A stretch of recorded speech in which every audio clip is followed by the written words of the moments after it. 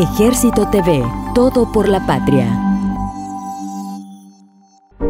Blanca Estela Arauz Pineda nació en el departamento de Jinotega el 25 de mayo de 1909, hija de Esther Pineda Rivera y Pablo de Jesús Arauz Rivera. Desde temprana edad aprendió de su padre el oficio de telegrafista. En febrero de 1927 conoció personalmente al héroe nacional general de hombres libres Augusto C. Sandino, cuando llegó a San Rafael del Norte al mando de los montañeses. En marzo del mismo año, en el marco de la guerra constitucionalista, desde la oficina telegráfica ubicada en su casa, apoyó el intercambio de comunicaciones entre el jefe de los montañeses y las fuerzas liberales, quien se identificó con la causa de la lucha e ideas libertarias del general Sandino. El 18 de mayo de 1927 contrajo matrimonio eclesiástico con el general Augusto C. Sandino en el templo de San Rafael del Norte. Desde su oficio de telegrafista se integró a la lucha contra la intervención militar estadounidense, colaboró en el mantenimiento de las comunicaciones, logística, obtención de información sobre ubicación y despliegue de las fuerzas invasoras y de la Guardia Nacional, las cuales transmitía al jefe supremo del Ejército Defensor de la Soberanía Nacional de Nicaragua. El 6 de octubre de 1927, en misiva dirigida por el general Sandino a su esposa Blanca manifestó, El amor a mi patria lo he puesto por sobre todos los amores, y tú debes convencerte de que para ser feliz, para que seamos felices, es menester que el sol de la libertad brille en nuestra patria. Los piratas se irán de nuestro territorio, y ni ellos mismos podrán dar después una explicación de lo que se les obligó a derrotarse. Nuestro triunfo será providencial. El 2 de marzo de 1929 fue capturada y apresada por primera vez, siendo trasladada a Managua y días después fue liberada. Posteriormente, en junio de 1930, fue nuevamente capturada junto a su madre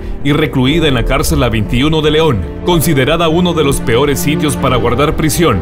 Tras su liberación se trasladó al Cerro del Chipote en Nueva Segovia, para integrarse directamente a la lucha fungiendo a partir del 12 de marzo de 1931 como secretaria de la oficina del cuartel general y luego como ayudante del jefe supremo del Ejército Defensor de la Soberanía Nacional de Nicaragua. En 1932, en cumplimiento de instrucciones del general Sandino, se trasladó desde el cuartel general El Chipote hacia San Rafael del Norte para mantener intercambios de comunicaciones entre el general Sandino y el doctor Sofonías Salvatierra, delegado del gobierno de Nicaragua y representante del grupo patriótico, lo que constituyó un paso fundamental en la firma del convenio de paz. Durante el cumplimiento de esta misión fue encarcelada por la Guardia Nacional en San Rafael del Norte. Tras su liberación pese a su estado de embarazo y delicada salud, siempre tuvo una participación activa en las comunicaciones que antecedieron a la firma del convenio de paz el 2 de febrero de 1933. Durante la lucha contra la intervención militar estadounidense, Blanca Estela Arauz Pineda se destacó con sus ideales libertarios, brindando un significativo aporte para la victoria del Ejército Defensor de la Soberanía Nacional de Nicaragua. El 2 de junio de 1933 falleció al dar a luz a su hija Blanca Segovia Sandino Arauz, siendo sepultada en el cementerio de San Rafael del Norte en Jinotega.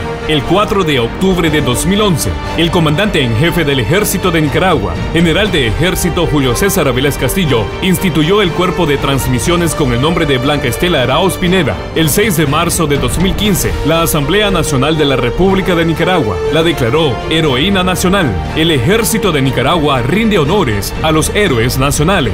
Todo por la patria, en la defensa de la patria y la institución, firmeza y cohesión. Firmeza y cohesión. Ejército TV, todo por la patria.